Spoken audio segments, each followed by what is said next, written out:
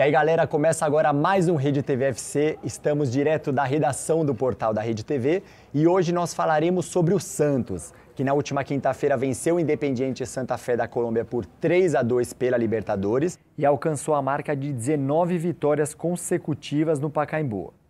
Vale lembrar que em janeiro deste ano, o Peixe ultrapassou o Corinthians e se tornou o time com maior número de vitórias seguidas da história do estádio. E também o Santos nunca perdeu no Pacaembu jogando pela Libertadores. Na Libertadores foram 11 jogos, 8 vitórias e 3 empates. Aqui também computando aquele jogo contra o Corinthians em 2012, que era o mando do Corinthians.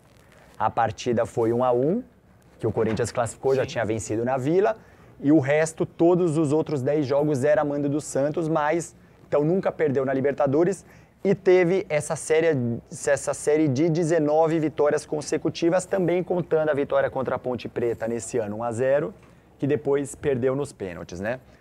No Pacaembu, nesses 19 jogos, foram 53 gols a favor e apenas 15 gols contra. E aí?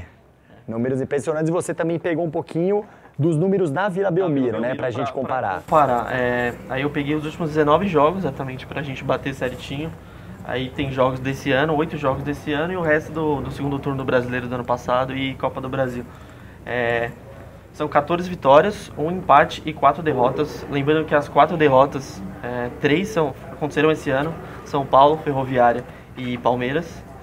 Então, é, Dois Santos, clássicos, né? A gente fala muito da força do Santos na Vila Belmiro. Esse ano o Santos não tem sido tão forte na Vila Belmiro e tem sido bem forte no Pacaembu venceu o jogo da Libertadores, né? Esse, esse segundo jogo em casa foi no Pacaembu, o primeiro foi contra o The Strongest. Na Vila, isso, 2 a 0 2 a 0 foi na Vila. José, com a questão da renda. Exato. Além do fator campo, futebol ali, também tem o fator extra-campo, que é a torcida, né? Indo ao estádio e que eu acho que é uma das reclamações do torcedor santista, principalmente aqui da capital, né? Que a Vila Belmiro é longe e, e quando joga aqui no Pacaembu parece que a torcida vai. Esse ano, o, o, Santos jogou quatro vezes no Pacaembu e teve uma média de 21.844 pagantes. Uma média alta. E na Vila Belmiro, nesses oito jogos, essas três derrotas que não são clássicos, Libertadores, o Santos teve uma média de 7.979 pagantes. Ou 27. Seja, 21 mil 21 mil e 7 mil. Ou seja, três vezes mais público. Sim. E jogos, jogos decisivos. Ah, contra a Ponte Preta, sim. também 33 mil pessoas. E semana passada o jogo contra, contra o Paysandu, oitava de final, né, na Copa do Brasil, deu o quê? 4 mil pessoas, né? E ainda, e ainda tinha uma promoção. E ainda tinha uma promoção que sócio não pagava ingresso e deu 4 mil pessoas na Vila Belmiro. Então, e também tem o, o fator financeiro, né? Que é importante para todos os sim. clubes. A gente vê o Palmeiras, o Corinthians mesmo com essa, com essa crise de ter que pagar o estádio arrecada muito, mas o valor vai todo para o estádio. O Palmeiras está arrecadando bastante com, com o Allianz Parque. O Santos arrecadou na Vila Belmiro 2 milhões e 50 mil reais, enquanto no Pacaembu arrecadou 3 milhões e 664 mil. Ou seja, 1 milhão e 600 mil a mais, só que também tem um fator aluguel do Pacaembu, né? A gente, esse é, é a renda bruta, Sim.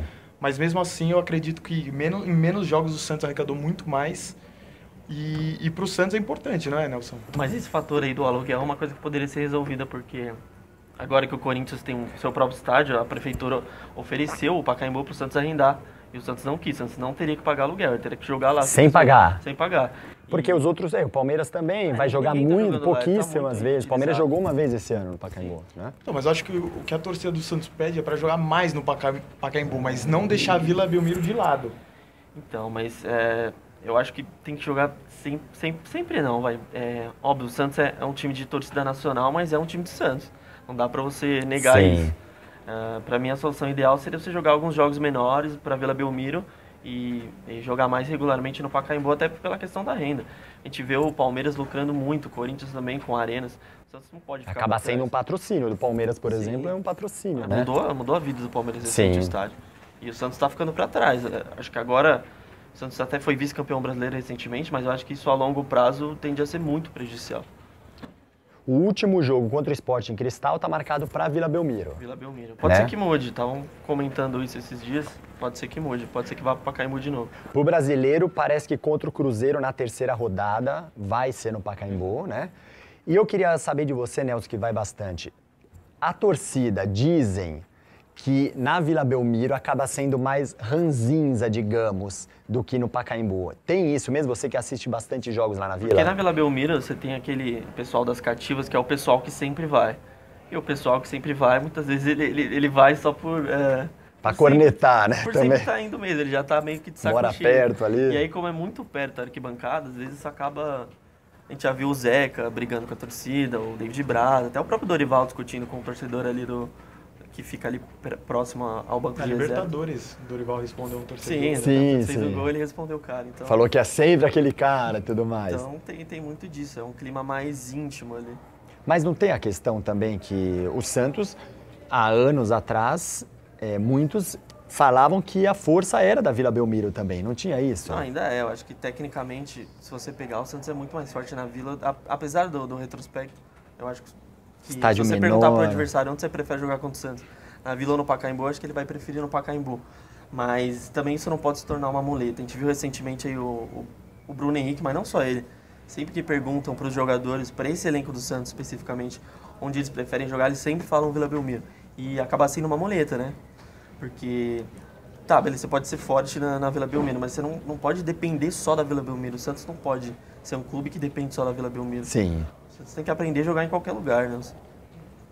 Tem a questão também dos camarotes e do sócio torcedor também. Isso é falado também? Como seria a solução disso? É um porque, problemas, né, no Pacaembu não tem o camarote tem que o um pessoal tem. que é bem representativo, que tem várias é, cadeiras cativas. E aí ninguém sabe como, como resolveria isso. Porque os caras compram um carnê, por- não é por um ano, é por vários anos. E aí ninguém sabe como resolver essa questão. Os caras não vão abrir mão da cadeira dele na Vila para descer para São Paulo todo jogo. Teria que ter um argu- argumento muito bom, né? Olha, tem esse esportivamente nós ganharíamos e Mas o tudo mais. Santos é maior que isso, isso tinha que ser resolvido, mas enfim. Na minha opinião, dá uma equilibrada. 50% a 50% dos jogos, metade dos jogos na Vila, metade dos jogos no Pacaembu. O que, que você acha? Depois o Nelson fala um pouco também da questão do estádio, né? Do, no- do projeto do novo estádio e tudo mais. Não, eu acho que isso tem que ser um estudo da diretoria.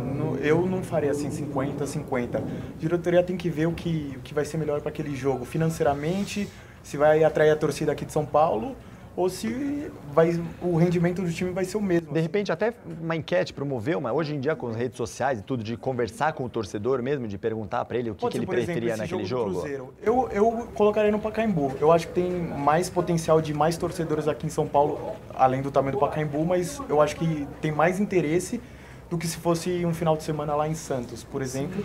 Eu acho que o resultado esportivo não seria afetado, por exemplo. E tem outra coisa, como o Santos é, joga muito pouco no Pacaembu, joga esporadicamente, sempre que tem jogo no Pacaembu, sim, eu conheço muitos Santistas, tipo, todos os Santistas vão no Pacaembu. Sim. E aí precisa ver se, se, se ele começasse a jogar regularmente no Pacaembu, se as pessoas continuariam indo, se a média não cairia. Ah, sim, né? sim. Porque você jogar de vez em quando é uma coisa, você jogar sempre e ter que ir sempre no estádio é outra coisa. Tem aquilo que nós comentamos que a sede da maior torcida organizada é em São Paulo, na São Zona Paulo, Leste na também, Zona né? Leste, Apesar de ter lá, né? Sim. Então muitos se organizam, muitos descem para a vila, daqui mesmo que seja aqueles 3, 4 mil, muitos descem Sim, sim. da torcida organizada, E né? agora falando do projeto de novo estádio do Santos, já teve vários, né? Mas esse é o que está em andamento agora e parece que até está tá bem encaminhado. É, é um projeto de um estádio em Santos, é, perto da Vila Belmiro, não sei se é, quem conhece vai saber. É ao lado do estádio da Portuguesa Santista, do Urico Mursa. O estádio seria para 27 mil pessoas, 27.200 pessoas, no terreno do Portuários. E o, o custo dele seria de 450 milhões. É, o Santos quer que investidores banquem, ele está procurando isso. É, investidores e ele também ajudaria a pagar com naming rights. Tem algum modelo específico? Poderia ser um modelo igual o do Allianz Parque com o Palmeiras? A ideia do Modesto é essa. Ele já falou já que o Santos não, o Santos não tem condições de, de construir um estádio. Sim. Então, a não ser que o investidor venha e coloque a grana, é, não, vai, não vai sair do papel o, o projeto.